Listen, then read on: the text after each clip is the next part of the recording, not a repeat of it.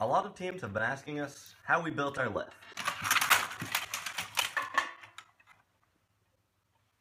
Oops. And the answer is, uh, uh, uh, don't, don't build this lift, it sucks. Seriously, folks, we are currently in the process of replacing our lift to make our robot better. We made our first lift on a mill out of aluminum tubing, and it works alright. We've got 3D printed bearings in between here. But there's a lot of wobble. So, for super regionals and possibly beyond, we're going with Igus drawer slides. Now it's true. We feel kind of bad about abandoning the thing we made ourselves and using something that's already kind of pre-built for us. But the fact of the matter is that this is going to work a whole lot better, and it's going to make our robot a whole lot better. It's also going to be a lot lighter.